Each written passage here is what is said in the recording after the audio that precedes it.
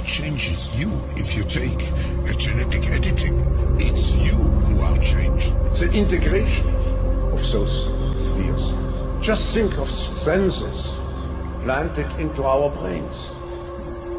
The opportunities are immense. To the frightening scenario of a comprehensive cyber attack, the COVID-19 crisis would be seen as a small disturbance in comparison major cyber attack. CHIPS Act, because uh, it's an important step to create the physical brain for digitalization. So people assume uh, we are just going back uh, to the good old world which we had, um, and everything will be normal again. This is, uh, let's say, fiction. It will not happen. The which we have now um, is much too strong uh, in order not to leave traces. Oh, what a delightful and very trustworthy guy, and of course, how can he not? As of course he was an underling and taught everything he knows by, of course, great peaceful people like Henry Kissinger. Yeah. That, of course, is Klaus Schwab of the World Economic Forum. Welcome back, beautiful and amazing human beings. This is Luke Rudkowski here of WeAreChange.org. And man, oh man, do we have some shadowy, secretive bunch of bad people in our society calling the shots that, of course, are leaving us with some real life havoc and chaos to deal with. Lots of crazy stuff happening all over the world, not just here domestically, but particularly internationally. With, of course, some terrifying new footage coming out of Ukraine as, of course, the situation there has greatly escalated. The saber rattling just got more severe, and overall, it is diresome when it comes to any prospects of peace and negotiations, especially with the latest speech by, of course, Joe Biden that countered the president of Russia. What's going on here? Where will we be in the next few years? Well, we're going to be doing our best to describe that here on this independent media broadcast if we have that long. If you like the t-shirt that I'm wearing right now, you can get it on thebestpoliticalshirts.com. The video that we played in the beginning of the broadcast, I don't know who did it. It's being shared around. I decided to play it here, but if you know who did it, let me know in the comment section below so I could credit the original creator of this video, highlighting some of the creepy comments by, of course, Klaus Schwab. This, as of course, in New York City, he and many other top globalists and luminaries are meeting right now during the UN General Assembly, including, of course, the Clintons, who are meeting with BlackRock, that are essentially promoting and shilling the corporate ESG social credit score, which of course has been pushing woke ideas and business interests, along with companies and investments that, of course, that a lot of these powerful people make money off of. All of this while, of course, you get financially and economically screwed with now higher interest rates, paying for the consequences of the largest transfer of wealth within the last few years. And who would have thought printing money out of thin air and giving it to some of the most richest people on Wall Street would have some consequences and would inflate the dire?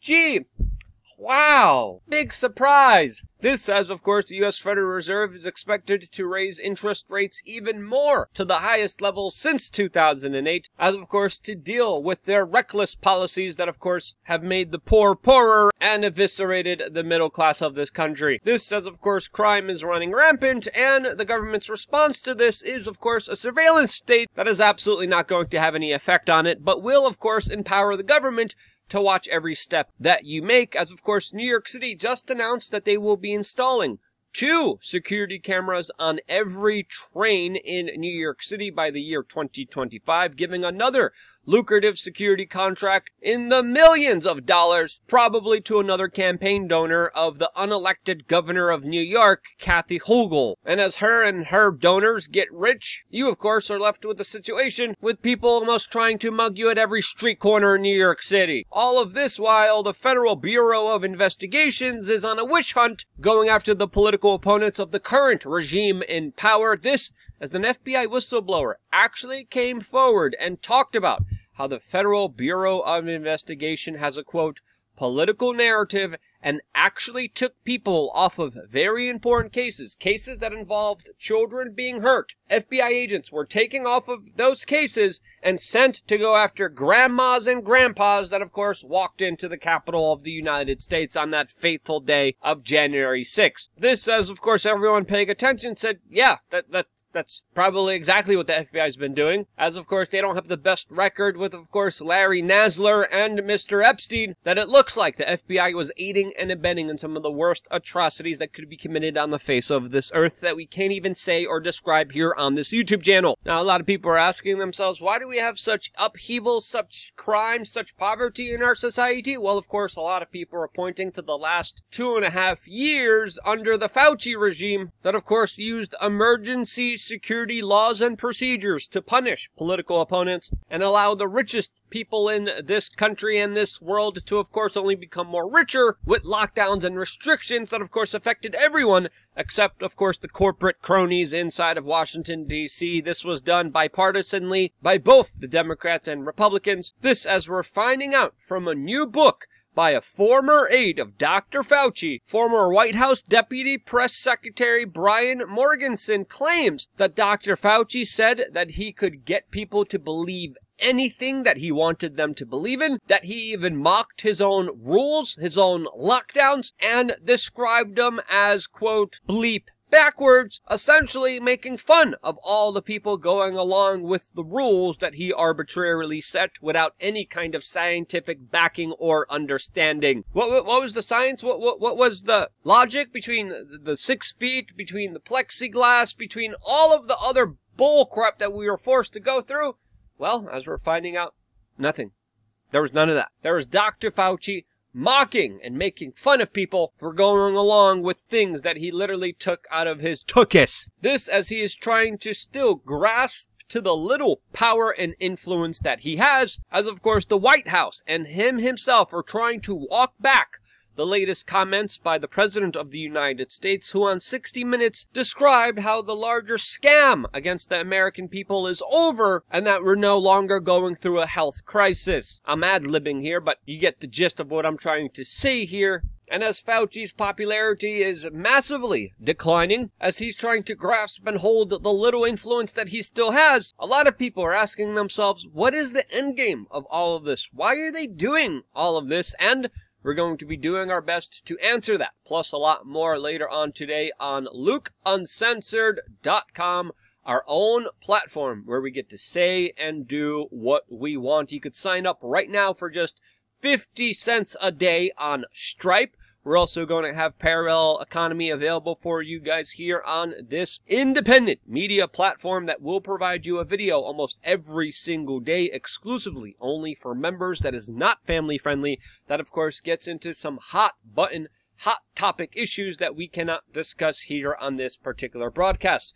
Today we, we, we will be discussing the end game and also what's happening in China with the massive amounts of quarantine camps that were just released from the latest drone footage that looks as if is it's almost just completely made up, but this is the scale, the insanity of what some people are dealing with in this world because of an alleged health scare. We're going to be talking about that plus a lot more. You also get exclusive merchandise, three master classes, a forum, and our effort to try to build a community of people trying to hold each other accountable and be the best versions of themselves. That plus a lot more all available on, of course, lukeuncensored.com. You can watch the new video as it's out right now in the making of this video. Just click the link down in the description below. Sign up on Stripe. It's very easy. It's very simple. It's very quick. 50 cents a day. And you can be a part of all the amazing things that happen behind the scenes with this independent media organization. See you there right after this video, as of course we're not done and there is still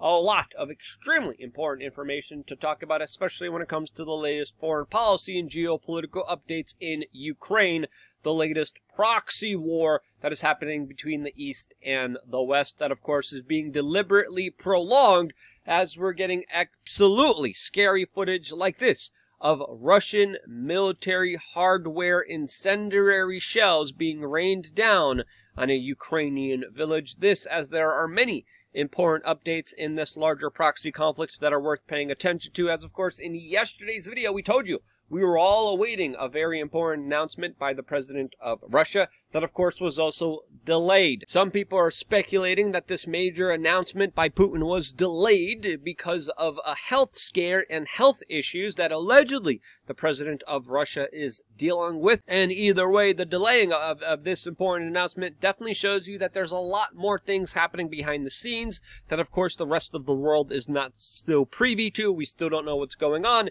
And if Vladimir Putin Putin is not in good health. This signals some problematic developments when it comes to the future decisions that he will be making. Now again, it's still unclear on who to believe, as of course Vladimir Putin in his speech announced a mobilization of another 300,000 troops inside of Russia in a speech where he also, of course, threatened the West with nuclear weapons over Ukraine, telling the Western leaders that, quote, I am not bluffing. This, as of course Russia is planning to annex Ukrainian territories in alleged upcoming elections that are supposed to be happening in contested territories. This, of course, will make them officially Russian territories, and if Russian territories are officially attacked, Putin will, of course, then have an excuse that he is conjuring up right now to, of course, respond back with a nuclear attack. And this is why when we look at Putin's comments here, specifically setting up this scenario, this situation where he's laying down the groundwork and specifically talking about territorial integrity, using all means of at their disposal to defend Russia and their people. We have to understand that this is directly correlated with the upcoming elections in the Ukrainian contested territories. What will be the results of those elections? We, of course, will be keeping a very close eye on it. They definitely probably will be contested by the West. And with the conflict in Ukraine definitely not going the Russian way, this, of course, is an extremely tumultuous situation that is a far more desperate and dangerous situation than I believe the US corporate media is letting on to actually being. And again, we have seen the usual strong rhetoric from the Russians not usually being met by any kind of legitimate action. And again, what, what what's being engineered here will have some significant consequences, as of course the trouble has been brewing here for a very long time. Again, Putin says it's quote very dangerous for Russia to quote weaken its sovereignty. This, as many diplomats, world leaders, and geopolitical experts are warning about the potential of this conflict escalating and not just becoming a proxy one, but a real one, a hot war between the East and the West, as even the president of Serbia came out and warned that this could create a great world conflict within just two months from now, specifically warning that the planet is entering this great world conflict, which will be a military conflict not seen since World War II. We're also hearing from U.S. Western media outlets that a lot of Russian young men are fleeing the country to the point where there's even some reports of the Russian government telling Russian airlines to stop selling tickets to Russians aged between 18 to 65. We were not able to corroborate this report, but it does make sense that, of course, some people would be fleeing the country, especially with the mobilization that Vladimir Putin just announced. What has been the response from the West to all of this? Well, of course, we got some kind of incoherent speech by the current president of the United States, but more importantly, NATO announced that it will be ramping up its weapons and ammunition production in order to give it to Ukraine. The U.S. Army former European commander came out and said that the United States will retaliate and with the quote, devastating strike against Russia and its Black Sea fleet if Putin follows through on his threat to use nuclear weapons inside of Ukraine. And again, these are not the official uh, response by the current Biden administration that essentially criticized Vladimir Putin for what they described as a quote, reckless nuclear threat and alleged shameless violation of UN Charter. This as predominantly Biden concentrated his speech on quote, the climate crisis, as it's important to note here that Western political leaders have of course been pressuring and pushing the Ukrainians to prolong this conflict and even on record Boris Johnson the former prime minister of the United Kingdom when he was in power also pressured Zelensky to ditch any kind of possibility of peace talks when, with Russia as allegedly the Ukrainians were thinking about coming to the table and negotiating some kind of truce. Western powers have stopped this, and I think that is absolutely reckless. As of course, people dying for the political ambitions of politicians on either side, I think is absolutely stupid. I think there's a lot of, uh, of dangers surrounding this current situation that should be taken very seriously. Peace deals, truces, negotiations should all be on the table and at least discussed but it is something that, of course, is patronized and attacked here in the United States, censored on big tech social media, and not being a fan of any government here, I have to say that, in my opinion, this is all absolutely reckless and crazy. And if you agree, you sharing this video is more important than ever, as of course, the algorithm doesn't really like to promote these types of videos. There's two sides to every story. There's a lot of disinformation. There's a lot of propaganda when it comes to this entire conflict coming from both sides. The DoD just got caught using psychological psyop clandestine operations on the American people through social media. And, and I'm sorry, after those developments and, and many other developments, after so many lies, after the corporate media colluding with the military industrial complex, I think I have to say enough is enough. You agree with me? You sharing that message, you being the notification is more important than ever. If you disagree with me, if you think I fell for any of the disinformation from either side, let me know down in the comment section below. I'm not perfect. There's so much fake bullcrap out there. I hope I did a good job breaking it all down. But holy cow, we should definitely be having a lot more discussions surrounding this topic, as of course this has been something that we've been passively not even caring about, and I think we should. I got one more video coming your way on LukeUncensored.com. I wouldn't be here if it wasn't for you guys watching these videos all the way up until the very end, and this is why I love you guys. Stay tuned for more here on WeAreChange.org.